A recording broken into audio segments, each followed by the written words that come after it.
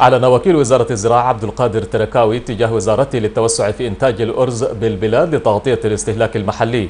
وكان وكيل الزراعة يتحدث بمحطة البحوث الزراعية بولاية النيل الأبيض ضمن احتفال الهيئة بيوم حقل إكثار تقاوى الأرز بحضور والي ولاية النيل الأبيض اللواء الركن حيدر علي الطريفي.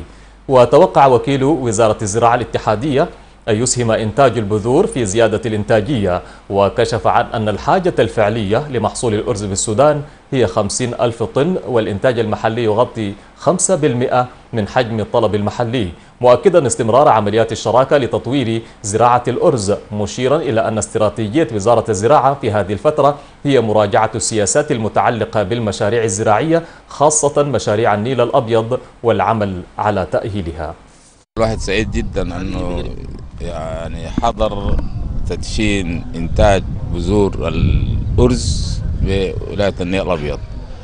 وده طبعا يبشر بمستقبل باهر كأنه لأنه الرز هو المحصول الاستراتيجي الثاني بعد القمح عندنا في السودان.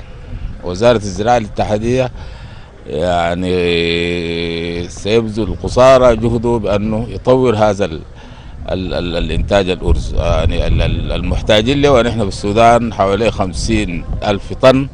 والآن يمكن إنتاجنا نحن لا يساوي أكثر من 5% هذا وأكد اللواء الركن حيدر علي الطريفي والي ولاية النيل الأبيض المكلف اهتمام حكومته بمعالجة المعوقات التي تعترض زيادة المساحات الزراعية بالولاية عبر توفير التمويل وتكملة العمل في قنوات الري الخاصة بمشاريع النيل الأبيض الزراعية.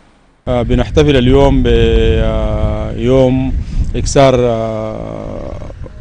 تقاوي الأرز في هذه المحطة محطة الأبحاث والذي نأمل أنه تتطور وتصل إلى مركز أبحاث.